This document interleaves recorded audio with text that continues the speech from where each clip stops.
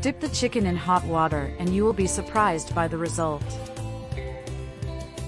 Let's insert a teaspoon of salt, half a teaspoon of black pepper, and a teaspoon of paprika. In two chicken breasts, dipped in a pan with water. Let's mix the temperos very well and cook for 15 minutes. In the meantime, we'll need a carrot. And we're going to grate it all on the thickest side of a grater. After that, we'll transfer to a bowl. This recipe is amazing, the result will surprise you. Then we'll need half cabbage. And we're going to slice it into several very fine pieces. And we're also transferring to the bowl. And before I forget, tell me which city you're watching so I can send you a special hug. Today's hug goes to Vanessa Bino, from Guyana. I'm glad you're enjoying our recipes. After removing the chicken, we will shred them with a fork. After this, again we will transfer to the bowl.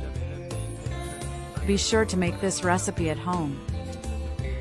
Now, let's add a cup of corn, half a cup of raisin, and parsley to taste. And we will mix the ingredients very well. Now, let's insert 200 grams of heavy cream into another container. Then we'll add a tablespoon of mustard. We will also add a teaspoon of salt and half a teaspoon of black pepper. And we mix the ingredients very well.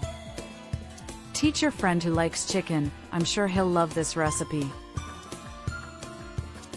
And we will transfer the mixture over the recipe in the bowl.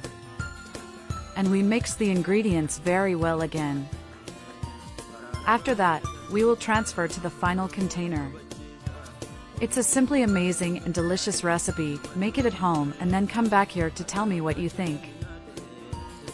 My friends always ask me to teach how it is done, so amazing that the result is. And we'll take the recipe to the ice cream for an hour.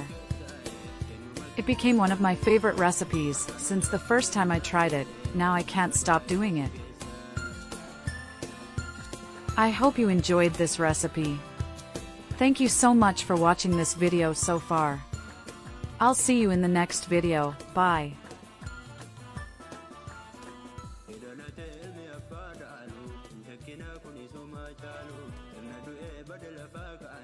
Akka kana banne biyyoo raase, annan qodaan jirre qullaa raasa, sabni sarmuu.